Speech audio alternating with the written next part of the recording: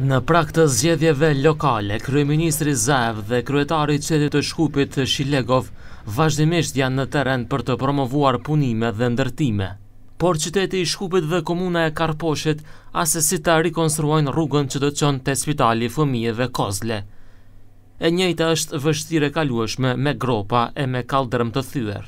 Televizioni njëzet e një për dy vjet ka raportuar për këtë rrugë, ndërsa përgjigjet që ka marrë kanë qenë se për shkak të motit të lig punimet po prolongohen.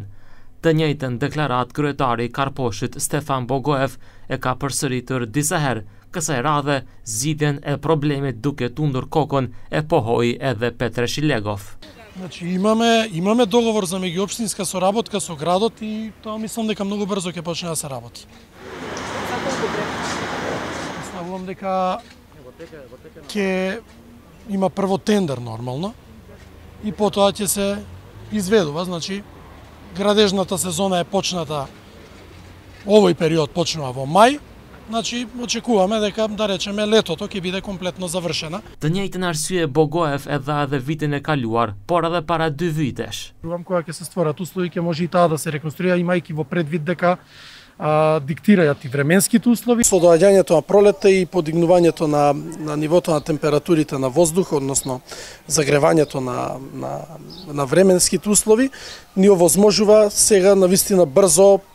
Pretpostavuvam do poçetok na da ne bide grubo eve.